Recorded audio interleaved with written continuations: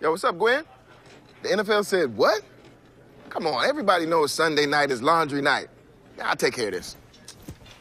Okay, NFL, let's set one thing straight. Laundry night in America is Sunday, okay? That way we spend the week enjoying our shows. Not that action packed sport. Yo, how does football go? It's like run, run, punt, throw, catch, run, throw, punt, throw, catch, run, punt, throw, punt, punt, throw, punt, punt, punt, punt, punt.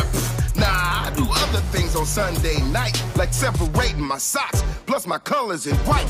So toss in some Tide and watch it swirl on your clothes. Swirl, swirl on your clothes so you could watch real shows. Sunday. Sunday is the day we do our laundry. Laundry night in America is Sunday. Hey, hey, hey. Let's go team! Hold up, they off sides. While y'all pausing, I'm preparing for my week with time. I've been waiting two hours for one touchdown dance. Then I bet you start your Mondays off with nasty pants. Just think of doing laundry as a Sunday treat.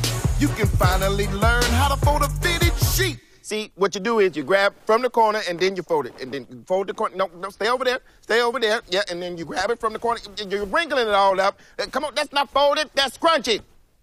Yo, I like my clothes fresh and my tie on cute.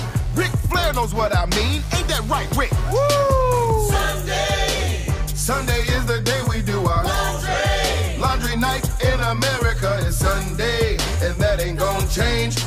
Sunday laundry tie day. Hey, hey.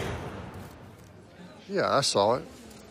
Stupid song. Doesn't make any sense. It's not even a good song. All right, Mom. I love you. Bye.